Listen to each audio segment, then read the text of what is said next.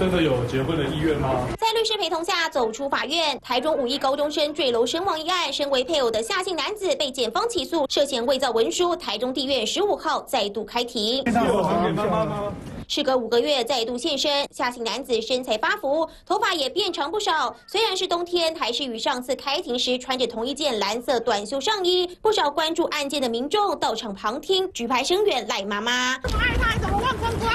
案发至今已经过了半年时间，台中地检去年六月侦结起诉，认定夏姓男子涉及假结婚、伪造文书、杀人罪，则不起诉。但台中高分检认为全案仍有疑点，将案件发回地检署续行侦查。台中地院十五号则针对伪造文书再度开庭，法官勘验两人登记结婚当天于咖啡厅抽商户政事务所内的监视器，夏男始终否认两人假结婚，承认有和赖姓高中生一起前往咖啡厅寻找证婚人。但旁听的民众痛批夏姓男子的说。辞根本不合理，觉得他五月四号去结婚很不合理啦。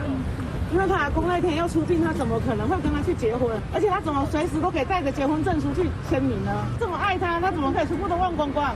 看在庭上都收到忘光光了。伪造文书罪进入审理阶段，双方持续在司法上展开攻防。赖妈妈所提出的民事婚姻无效诉讼也将在二月开庭。这场婚姻真假是否具法律效力，就看法官如何定夺。财经新闻杨景穗、李 S N 小组台中报道。